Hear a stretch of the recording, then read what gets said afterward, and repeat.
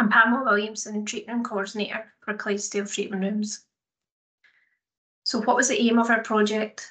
The aim was to gather data to see if the first line dressing choices were formulary compliant, and if not, the rationale for choosing this. If the dressing was changed during the patient attending the treatment rooms, was the second line dressing formulary compliant, and again, if not, the rationale for this. It was also used to look at healing times of wounds from first visit to discharge, to look at whether any patterns on the healing noted, if it was formulary, or equally, if not. Our project aim is by June 2023, the Lanark treatment rooms in Clydesdale will have achieved 95% reliability with first-line antimicrobial dressing choices in line with NHS Lanarkshire wound management formulary and to reduce the use of specialist wound products as a first-line dressing choice by 50%. So what did we do in our project and how did we do it? The project started in June 2022 when we selected 50 wound charts of patients who had been in Lanark treatment rooms who had a swab of a wound obtained and or had been prescribed an antibiotic for wound infection. Each month since then, we have pulled 10 wound charts a month as a snapshot with the same criteria, and we will continue to do so until June of this year. Our cupboards in the clinical rooms at both Carluke and Lanark have been rearranged so that the formulary and non-formulary products are split up to see if this would make staff think a bit more about trying to adhere to the formulary when making their dressing choice. We also put a shortcut to the formulary on the desktop of every PC used by the trained staff in the clinical rooms on both sites, so they could access this if needed to check any of the dressings.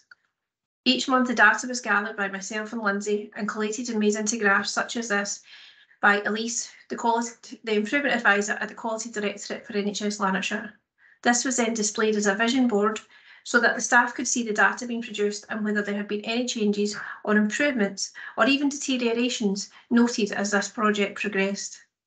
During the project, we met regularly with Elise and following one meeting halfway through, we decided to carry out an additional snapshot involving pulling charts for patients from May 2022 and November 2022. So that was before and during the project. The criteria for selecting the wound charts was the same, but this time we looked at the date the patient first attended, the date of discharge, how many days it took to heal, the wound that they had, the age of the patient, factors which could delay the healing, known allergies, the wound sites and type, was the dressing choice formulary compliant and was there a swab obtained during their visit or was there any infection present? The project has been carried out while still ensuring that we are delivering patient-centred care and have the patient's best interests at the heart of any decisions made on dressing choice.